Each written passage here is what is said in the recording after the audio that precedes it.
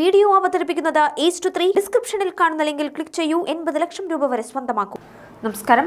പൗരത്വ ഭേദഗതി ബില്ല് രാജ്യസഭയും പാസാക്കിയതോടുകൂടി കേന്ദ്ര സർക്കാരിനോട് നന്ദി പറഞ്ഞ് നിരവധി പേരാണ് മോദിയെ വാഴ്ത്തിയെത്തുന്നത്.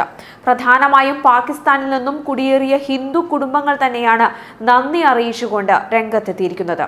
ഇന്ത്യയിലെത്തിയ ഒരു കുടുംബത്തിന്റെ നീണ്ട ഏഴു വർഷത്തെ കാത്തിരിപ്പിനാണ് ഇന്നലെ വിരാമമായത്. ഇതിന്റെ ഭാഗമായി ഡൽഹി സ്വദേശികളായ ദമ്പതികൾ തങ്ങളുടെ പെൺകുഞ്ഞിന് നാഗരികത എന്നാണ് പേര് നൽകിയതെന്നും വാർത്തകൾ വന്നിരുന്നു. നാഗരികത അഥവാ പൗരൻ എന്നാണ് ഈ വാക്ക് അർത്ഥമാക്കുന്നത്. രണ്ടായിരത്തി പന്ത്രണ്ടിലാണ് പാകിസ്ഥാനിൽ നിന്നും ഈ കുടുംബം ഇന്ത്യയിലേക്ക് എത്തുന്നത്. നിലവിൽ വടക്കൻ ഡൽഹിയിലെ മജ്നു കാത്തിലയിലെ ഒരു പുനരധിവാസ കോളനിയിലാണ് ഈ കുടുംബം താമസിക്കുന്നത്. ഏഴു വർഷമായി ഞങ്ങൾ ഇന്ത്യൻ പൗരത്വം ലഭിക്കാനായി കാത്തിരിക്കുകയായിരുന്നുവെന്ന് കണ്ണു നിറഞ്ഞുകൊണ്ടാണ് ഇവർ പ്രതികരിച്ചത്. പെൺകുട്ടി പിറന്നതോടുകൂടി പൗരത്വം ലഭിക്കുമെന്ന് ഞങ്ങൾ ഉറച്ചു വിശ്വസിച്ചിരുന്നു. നാഗരികതയുടെ അമ്മ ആരതിയുടെ പ്രതികരണം ഇങ്ങനെയായിരുന്നു.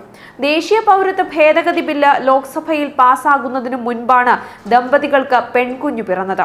എന്നാൽ രാജ്യസഭയിൽ ബില്ല് അവതരിപ്പിച്ച ഇന്നലെ രാവിലെയാണ് കുട്ടിക്ക് നാഗരികത എന്ന പേര് ഇവരിട്ടത്. ബില്ല് പാസ്സാകും എന്ന വിശ്വാസത്തിലാണ് കുട്ടിക്ക് ഈ പേര് നൽകിയതെന്ന് നാഗരികതയുടെ മുത്തശ്ശിയും പ്രതികരിച്ചു. പാകിസ്ഥാനിൽ തങ്ങൾ നിരവധി പ്രശ്നങ്ങൾ നേരിട്ടതായും ഇന്ത്യൻ പൗരത്വം ലഭിക്കുമെന്നാണ് പ്രതീക്ഷ എന്നും പറഞ്ഞ കുടുംബം കേന്ദ്ര സർക്കാരിനോട് നന്ദി പറയുന്നതായും അറിയിക്കുകയായിരുന്നു.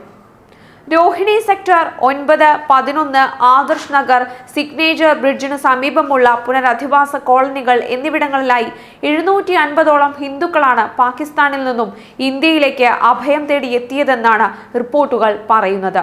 പലയിടങ്ങളിൽ പ്രതിഷേധം ആളിക്കത്തുമ്പോഴും മോദി സ്തുതികളും ഇതിനോടൊപ്പം തന്നെ ഉയരുന്നുണ്ട്. പൗരനായി തങ്ങളെ അംഗീകരിച്ച സർക്കാരിനോട് നന്ദി പറയാനാവാതെ പലരും പൊട്ടിക്കരയുകയായിരുന്നു. ഇസ്ലാമിക രാഷ്ട്രങ്ങൾ ചവിട്ടിയരച്ച തങ്ങളെ സ്വീകരിക്കാൻ ഇന്ത്യയെങ്കിലും ഉണ്ടായല്ലോ എന്നാണ് ഇവർ ആശ്വസിക്കുന്നത്.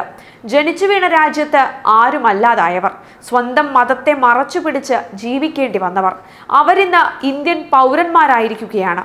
ഇന്ത്യയെ ഹിന്ദു രാഷ്ട്രമാക്കാൻ ശ്രമിക്കുകയാണെന്നും മുസ്ലിമുകളെ അടിച്ചോടിക്കുകയാണെന്നും എല്ലാവരും പറയുന്നുണ്ടെങ്കിലും ഹിന്ദുക്കൾ പിന്നെ എങ്ങോട്ട് പോകും? ഞങ്ങളെ ആര് സ്വീകരിക്കുമെന്നാണ് ഇവർ ചോദിക്കുന്നത്.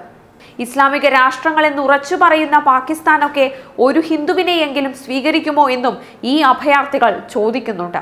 എന്തായാലും വിവാദങ്ങൾക്കും മാരത്തണുകൾക്കും ഒടുവിൽ പൗരത്വ ബില്ല് രാജ്യസഭയിൽ കൂടി പാസ്സായതോടുകൂടി ആർപ്പുവിടികളും ആഘോഷങ്ങളുമാണ് രാജ്യമൊട്ടാകെ ഉയരുന്നത്.